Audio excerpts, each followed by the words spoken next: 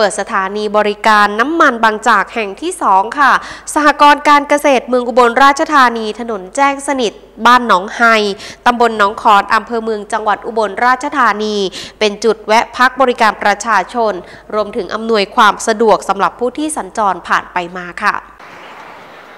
สหกรณ์การเกษตรเมืองอุบลราชธานีจำกัดเปิดสถานีบริการน้ำมันบางจากแห่งที่ 2 ซึ่งตั้งอยู่บนถนนแจ้งสนิท บ้านหนองไฮตำบลหนองคอนอำเภอเมืองจังหวัดอุบลราชธานีเปิดให้บริการในวันที่ 29 กรกฎาคม 2562 เป็นวันแรก โดยมีดรสุพจน์วัฒนวิเชียน สากรจังหวัดอุบลราชธานี เป็นประธานในพิธีเปิดสถานีบริการน้ำมัน และเปิดร้านกาแฟอินทนิน ภายในสถานีบริการน้ำมัน เพื่อเป็นจุดแวะพัก และให้บริการแก่ลูกค้าที่สัญจรไปมาอีกด้วยนายประยงทองพานประธานกรรมการสหกรณ์การเกษตรเมืองอุบลราชธานีจำกัดกล่าวว่า สถานีบริการน้ำมันบางจากแห่งที่ 2 สหกรณ์การเกษตรเมืองอุบลราชธานี เป็นปั๊มน้ำมันขนาดมาตรฐานตามแบบของบริษัทบางจากคอร์ปอเรชั่นจำกัดมหาชน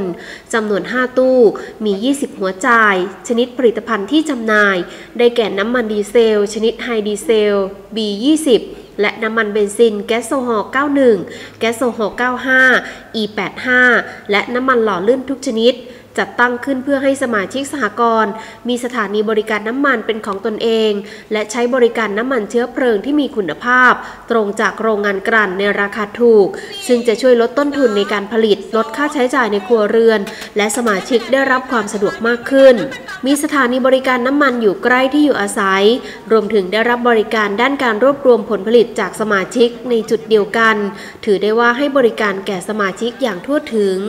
และครบวงจร อันจะส่งผลให้สมาชิกมีความอยู่ดีกินดีมีสันติสุข ตามเจตนารมณ์ของสหกรณ์เมื่อปี 2554 คณะกรรมการดำเนินการสากลชุดที่ 35 ได้มีแนวคิดในการขยายสำนักงงาน เพื่อให้บริการแก่สมาชิกในเขตพื้นที่ 4 ตำบล คือตำบลปะอาว ตำบลหนองคอน ตำบลเจรแม ตำบลหนองบ่อจำนวน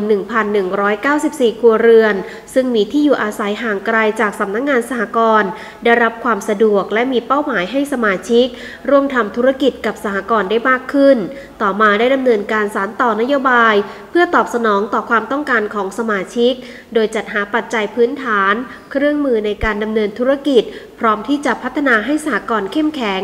อันได้แก่ช้างขนาดบรรจุ 1,000 ตัน พร้อมโรงคลุมลานตากขนาด 3,000 ตารางเมตร และสถานีบริการน้ำมัน ร้านกาแฟอินทนินและอื่นๆ